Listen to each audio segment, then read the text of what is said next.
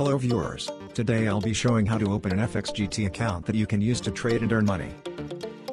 Firstly, you must open this URL to go to the FXGT website, I will leave it in the description.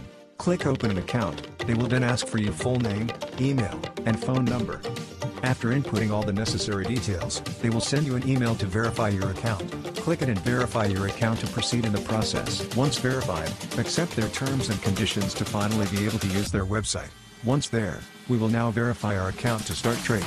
Fill in the rest of what will be asked to verify. This may take take a while to verify so please be patient. Once finished, head back to the home page and claim your welcome bonus. When clicked, they will ask you to create a new trading account which you will do. Select Live to start trading with real money.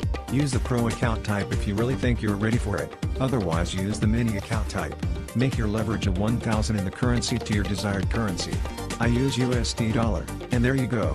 You have successfully created a real FXGT trading account.